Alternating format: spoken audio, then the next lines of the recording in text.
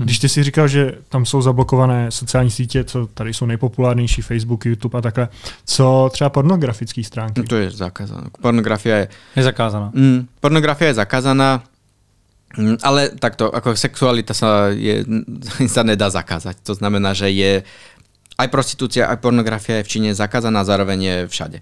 Čiže ja neviem, napríklad pornografické videá sa občas šíria tak, že si v metre a niekto ti airdropne vizitku do mobilu a príde ti vizitka s QR kódom, ktorý keď si naskenuješ, tak si môžeš za zaplatenie posťahovať po, tako, porno videá a podobne. Business. Je to biznis, je mm. to biznis. Čiže napríklad pornografia, ja by som povedal, že je v Číne zakázaná a tým pádom je platená že to je vlastne ako keby služba, ktorú si ľudia platia a nakupujú si tieto videá. Ale zase Ale, přes VPN sa úplne bežne dostaneš. A cez VPN samozrejme dostaneš. A no, samozrejme sú aj potom, a sú aj, ja neviem, ľudia si zdieľajú tie videá, dávajú si na nejaké úložiska, stiahujú si to a podobne. Dosť často sa využíva, lebo napríklad um, pardon, uh, veľa týchto služieb zahraničných firiem je v Číne zakázaných, že Google ti nefunguje a Microsoft služby nie všetky fungujú, niektoré fungujú, ale napríklad od Apple funguje všetko a bez problému.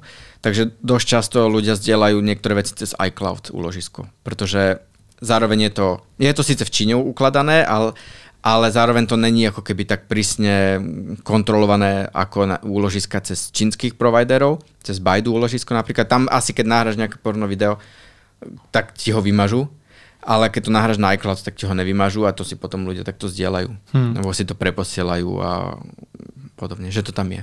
Rovnako a... aj s pornografiou, aj rovnako aj s um, prostitúciou je to tiež také.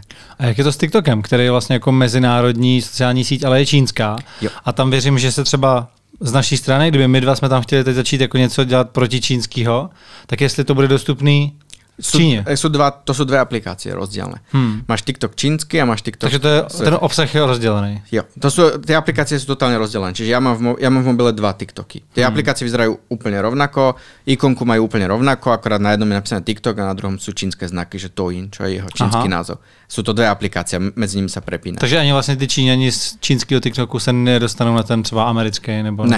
Ne, a tam je to ešte vlastne o TikTok, tým, že je to čínska firma, má to ešte, a tým, že teda ten TikTok je kultúrne extrém, tá viralita je tam extrémna, všade, aj v, teda aj v Číne, tak e, ten západný TikTok je nedostupný v Číne nie len tými základnými mantinelmi, že potrebuješ vpn ale napríklad si musíš vybrať aj čínsku SIM kartu z mobilného telefónu. Že keď máš čínsku SIM kartu zapnutú v mobile, tak aj keď máš vpn tak sa ti, tak, tak sa ti nenačíta obsah na tom zahraničnom hmm. TikToku.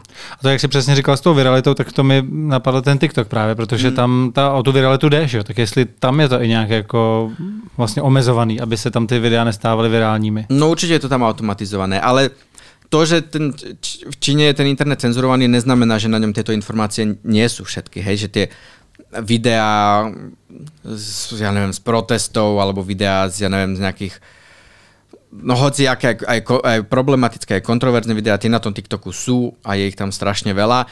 Mm, ich životnosť môže byť obmedzená, ale s tým, že tá viralita na TikToku je, hmm. je obrovská. A keď boli napríklad tie m, najväčšie protestné nálady v Šanghaji, e, proti, alebo keď proste sa, ako keby, keď my sme boli teraz zavretí dva mesiace v lockdowne v Šanghaji a počas toho lockdownu čo, ľudia nemali čo robiť, tak furt boli na mobile, na mobile a v, začali sa vždy šíriť rôzne príbehy ľudí, ktorým sa niečo stalo počas týchto lockdownov.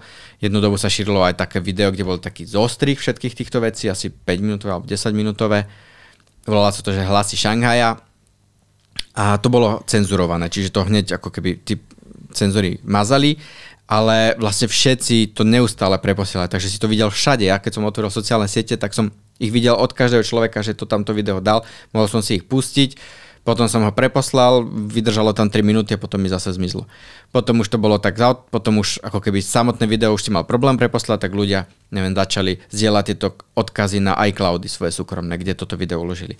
Alebo potom ich rôzne graficky upravovali, hej, že to bolo nejaké video a iba v rohu ti hralo to to jo, jo, konkrétne, hej, alebo tam dali nejakú podmazovú, podmazovú hudbu, alebo to, alebo ti, ti dávali v brajlovom písme, ti nejak zakodovali to video a cez ktoré sa mohol rozkliknúť, ale, alebo ho dali zrkadlovo, dvakrát zrkadlovo a rôzne nástroje, čiže to bolo, ako ľudia to vedia obchádzať, vedia a vtedy to bolo extrémne, že vtedy vlastne to cenzurovali, ľudia boli Môže sa nadávať na podcast? Môžem. Ľudia boli proste nasratí strašne počas, tej, počas toho lockdownu a tie to proste zúriví, takže vtedy aj tí, tí cenzori akože pracovali akože nad, nad časy mm-hmm. rozhodne a, a bol to doslova, častokrát to bolo, že boj, že také, že až preteky, hej, že si to tam dal, vymazali ti to, dal si to znova, vymazali, dal si to znova, vymazali. A toto robili ľudia aj 5 hodín do, dokola, že to tam dávali, vymazali, dávali, vymazali. A všetci to, a v rámci Šanghaja to všetci videli, ale málo kedy sa to už dostalo potom